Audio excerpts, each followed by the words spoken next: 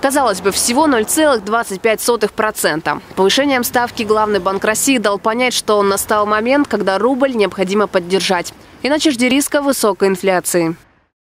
Совет директоров Банка России принял решение повысить ключевую ставку на 0,25% до 7,5% годовых.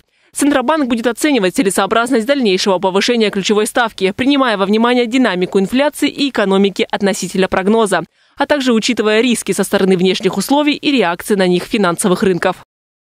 В 2014 году Центробанк был вынужден повысить ставку с 7% до 17%, чтобы удержать рубль. На графике видно, что четыре последующих года ключевая ставка только снижалась. Эксперты говорят, сейчас Центробанк просто корректирует спрос населения. Цена на товары и услуги постепенно начнет расти. Наиболее заметные изменения прогнозируют на рынке недвижимости.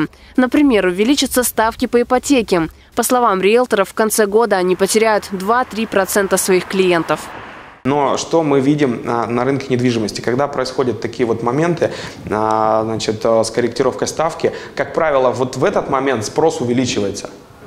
Ну, потому что все хотят запрыгнуть в последний вагон. А, это отложенный спрос, люди ждали, вот когда еще прям упадет, вот прям еще упадет. И вот ставки оказались, да, сейчас вектор сменился, и мы понимаем, что это вот, ну, минимальные все равно ставки сохраняются.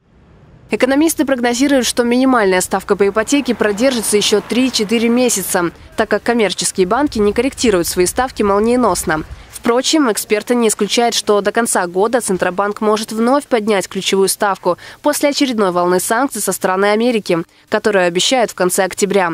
Случится ли это и чего ждать жителям нашего региона? В ближайшее время дать разъяснение обещало Алтайское отделение Центробанка. Ирина Корчегина, Андрей Печоркин. Наши новости.